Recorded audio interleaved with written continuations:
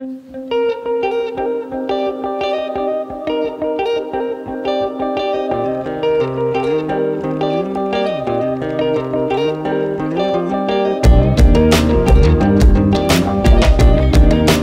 guys, welcome to our first video notes of 2020. So we are going to be starting our unit on ancient Greece and we're actually going to have two chapters on ancient Greece this time. Um, but we're going to start with just kind of the basics of Greek civilization and history.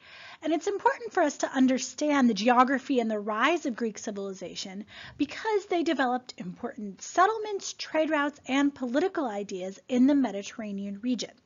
So make sure you are writing down all of the information that I ask you to, and then we will just dive right in, guys.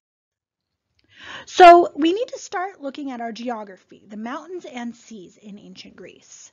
First of all, we need to know that Greece is still a modern day country and it's in the continent of Europe. So here's Europe right here.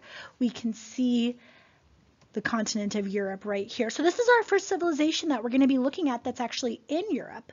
But you'll notice that we know where some of these other civilizations are. Here's Egypt down here and Mesopotamia over here. The mainland of Greece is a peninsula.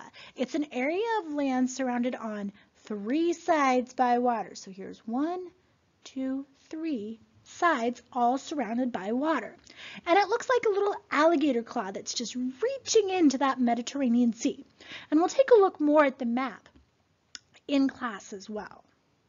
So there's those three sides of water. Now the geography of Greece was rocky and mountainous. I love this image here because it shows how the mountains are just about everywhere in Greece. So you'll notice we don't have a lot of flat land for farming. So we settled in the flat areas along the coast and river valleys, but we're not going to see any major rivers like we have in other civilizations. So this is a huge difference, guys. Um, and I want you to write in no big rivers. All right, no big rivers, just some small ones um, from the streams and such coming down from the mountains. So instead, they relied on fishing, trading, and shipbuilding because look, here's the ocean right here, so it's much easier to get our fish and to build ships and to go other places and trade. It's also easier to sail by ship and to travel because let's say I'm down here and I want to trade with my neighbors who live in Greece that are over here. Well, I could spend a lot of time traveling over the mountains or I could just sail around. So Greek towns and cities were very, very isolated. It's hard to communicate. They could, but it would take a very long time. So because of that, there was no central government. There wasn't one Greek government. And Greek communities saw themselves as separate city-states. So in the ancient world, they wouldn't say, oh, I'm from Greece. They would say, oh, I'm from Athens or Sparta or any of the other little tiny city-states that dotted all over this peninsula. And you can see all sorts of them over here. So it was so they fought a lot because of that and they were very kind of unique for each city state. And we're going to look at how each of those city states kind of developed independently. So I want you to think about this hot question. How did the seas, the oceans, influence the way that many Greeks lived? I'd like you to write three to four sentences and you can think about their food that they got, what they were good at building, and also how they communicated or the lack thereof of communication with other cultures. Now, as the Greeks traveled and exchanged ideas with other places as they traveled the seas, like Egypt or Mesopotamia, they exchanged ideas. And we know this phrase, it's cultural diffusion. Okay? So think about that hot question. Go ahead and write that down. Pause the video if you need to, and then we'll come back to it. Now let's take a look at some of the earliest people that lived in and around what we now consider to be Greece. The first group we're going to look at, the Minoans, didn't actually live on the mainland of Greece at all. They lived on the island of Crete, kind of off of the um, Greek mainland. And I want you to draw a little fish above the Minoans. And here's why. It's kind of a strange fish. Hopefully yours is better. But the Minoans, I always think of the word minnows. They're swimming around in the ocean in the middle of that island, that Crete, okay? So there's that island is swimming around kind of right in the middle of that ocean here. They were the absolute best shipbuilders of their time, probably because, well, they lived on an island. So they had to be in order to trade with other people. They traded wood and pottery, and they collapsed circa 1450 BC, most likely because of a major earthquake, but also possibly because of invasions.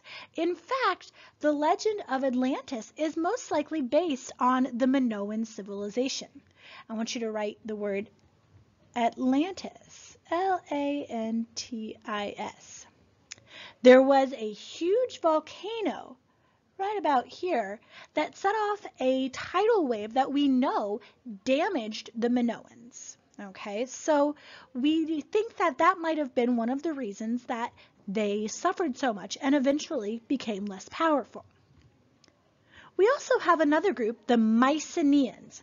Now, the Mycenaeans were based on the Greek mainland. So I'm going to draw a mouse because there we go, my little mouse. It's not a good mouse, but maybe yours is better. I don't know. But mice live on land. So just like minnows live in the oceans and the Minoans live in the water, the Mycenaeans lived on the mainland just like mice do.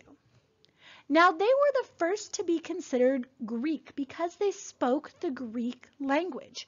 We don't know what the Minoans spoke. They had a written language, but we don't understand it. The Mycenaeans, however, spoke and wrote a language very similar to other Greeks.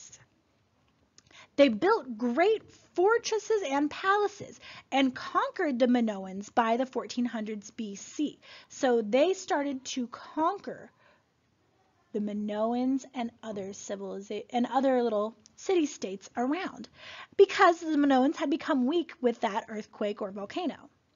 So here's an example of that Minoan or Mycenaean rather fortress. So they built these big huge fortresses. But by 1100 BC, the civilization crumbled due to earthquakes and wars. Notice we have a lot of earthquakes in this area. After the Minoans and Mycenaeans fall, we have a period of time in ancient Greece called the Dark Ages. And I want you to write in Dark Ages, kind of below that Minoans and Mycenaeans and above where it says colonies and trade. And this is a period of time for several hundred years where people were basically struggling to survive. They were doing basically everything they could just to feed their families and get by. So we don't see a period of time with large accomplishments. We certainly don't see any written history. We don't see any big civilizations. People are just living in small villages, just kind of barely squeaking by. But by about 700 BC, Greece starts to recover from the Dark Ages. The climate becomes better, the farming becomes easier, and its population starts to increase. So the thing about the population increasing is that you get to a certain point where farmers can't support everybody. And so rocky soil and all those mountains means that all those farmers couldn't support all this new population. So we had to look for food elsewhere. So Greek communities begin to send people outside the area to establish colonies and trade with other nations. I want you to put a star by this word colonies. This is an important term. It means that we are going to go settle in other places.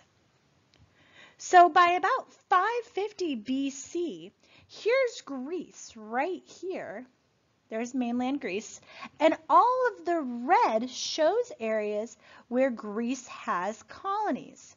Okay, so notice that we're all around the Black Sea, we're all around Turkey, the island of Cyprus, coming up really close to Egypt and down into the Fertile Crescent. There's the Euphrates River right there. So Greece is starting to expand where the Greek language is being spoken, where Greek people are trading, and all of its influence even into Italy. So Greek city-states, as they were starting to bring this trade in, started to grow wealthier and develop their own alphabet. So we start to see more of a written Greek language by about 550 BC or so. You'll notice our Greek alphabet looks pretty similar to ones you might be familiar with. And that's because, in fact, our, our American or English alphabet is originally based on the Greek alphabet. So a lot of letters look very, very similar. And in fact, this is the alphabet that Greek people still use today. Now, by this point in time, most Greek people lived in a city-state, but there's a specific word for it, and it's the word polis. A Greek city-state, or a polis, is made up of a town and all of the areas around it. And remember, it's very, very isolated. So people thought of themselves as members of their polis first, and they weren't united as a country. So you were a member of the polis of Athens. You were a member of the polis of Sparta, of Corinth, of all of your different city-states, your polises, but not of Greece. And we're going to see that that causes a lot of problems and really leads us to think about that saying, united we stand, divided we fall. Now, most city-states were small because they were kind of isolated by mountains and seas. But by about 500 BC, nearly 300,000 people lived in the polis of Athens, but most were much, much smaller. So most would be smaller than for sure Jacksonville is, but even smaller than maybe our modern day city of St. Augustine. Many were about the size of Nocatee or maybe Nocatee and World Golf Village combined, but not very big at all. So just like here in Nocatee, you get to kind of know everybody, you get to be really close with your community, and everybody's kind of in everybody's business because you're all together. Now, there are different parts of the polis that everyone had. The most famous is the Acropolis. And I want you to divide this into two parts. Acropolis.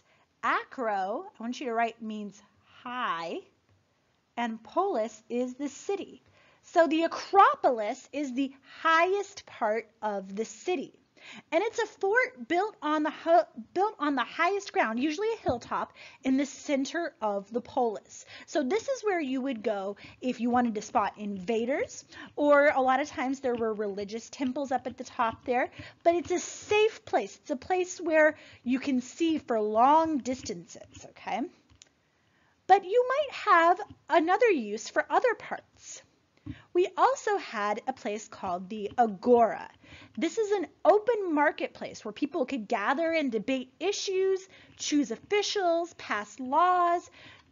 Um, you might worship there and shop there as well. Notice it's down on the flatland. You don't have to climb up all the stairs to get to it. So this is more of a common greeting place, okay? It's the difference between a town square and the fortress on the outside of the town square. Kind of like in St. Augustine, downtown St. Augustine, we have the fort, but we also have St. George Street and all of the areas right down there.